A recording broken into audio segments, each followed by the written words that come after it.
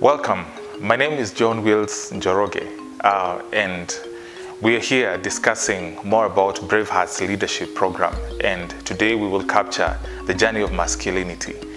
And I want us to reflect on a boy is born, he becomes a young man, he becomes a husband, he becomes a father, he becomes an elder.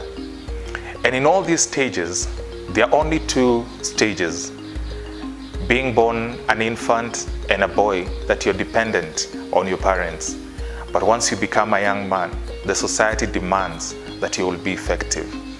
And so, what are we going to do to change the narrative where when you go out there, people call and say, man up?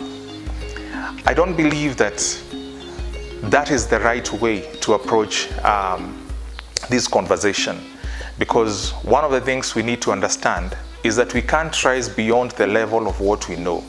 And so, my call to you is look for a responsible man who can mentor you, someone you can learn from. And for the men, look for a young boy that you can deposit knowledge in them.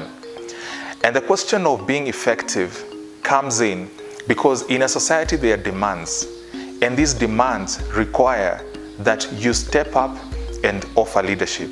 And how do you offer leadership? Number one, you recognize that everyone was born a leader. Number two, you call out the best in them. Number three, you make sure that you choose your team well. Thank you.